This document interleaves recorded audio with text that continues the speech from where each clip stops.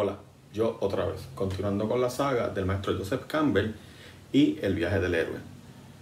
En el artículo 11, que es el que llevamos hasta ahora, vamos a hablar de algo que tal vez te confunda, pero una vez te lo explique, vas a realizar la complejidad de la receta de cómo hacer una gran historia. El artículo 11, bajo el maestro Joseph Campbell, se llama La resurrección del personaje. Esto no es una resurrección física, sino una certificación de que tu personaje es el héroe de la historia y que es tu protagonista.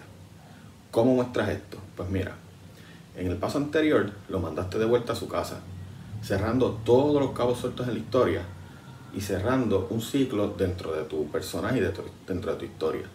¿Y qué pasa ahora, Chago? Si ya, ya hice todo, ¿qué tiene que ver la resurrección? Pues mira, la resurrección no es otra cosa que la revelación final de que tu héroe es el Cheche. Se acabó. Por ejemplo, cuando juegas God of War y te das cuenta que Kratos está a punto de morir con Zeus, y le ganaste y de repente aparece tu Atenas y, y pasa algo, no te va mucho spoiler para que juegues el juego, pero Kratos descubre que matar a un dios no era tan difícil después de todo. O, otro ejemplo sería, cuando coges la estrellita de Mario. Así de fácil de explicar.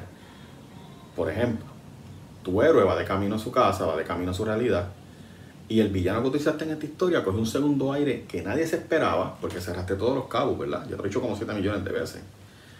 Y ese segundo aire del villano, que viene con todas las de matar y con todas las de conseguir su meta, se da cuenta que nuestro protagonista, con un simple movimiento, lo derrota. Que esta vez ni suda. Escribiste una historia donde tu personaje estuvo pasando las de Caín para poder derrotar a este villano. Escribiste una parte en donde tu personaje estuvo a punto de morir a manos de este villano. Y ahora lo haces fácilmente. ¿Por qué? ¿Por qué tenemos que hacerlo así para que haga sentido la historia según Joseph Campbell? Pues mira, esto es bien fácil de entender y ahora vas a entender por qué escritores como Frank Miller, Neil Gaiman y otros más, que quisiera mencionar miles, pero realmente no tengo ni el tiempo ni el aire, lograron sus historias. Una vez tú conviertas a este villano en la chata de tu protagonista, te vas a dar cuenta de dos cosas. La primera, tu villano va a tener que evolucionar y va a tener que crecer. Eso te da motivos para seguir escribiendo. Dos, tu héroe ya sabe su potencial a este momento de la historia. O sea, que cuando regresa a su realidad, este héroe puede muy bien sentarse en el sofá de su casa, ponerse a ver cable o Disney Plus y, y decir, aquí llegué y tuviste un gran ron, tuviste una gran historia. O sería capaz de resolver el mismo llamado otra vez.